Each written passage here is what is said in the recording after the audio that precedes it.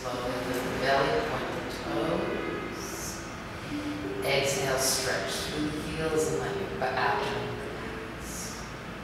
Inhale, stretch the toes and bring the arms up overhead, let them rest. And then as you exhale, arms down on either side, toes up. Let's do that again, but coordinate. Inhale, all the way up and touch at the same time. Exhale, toes up and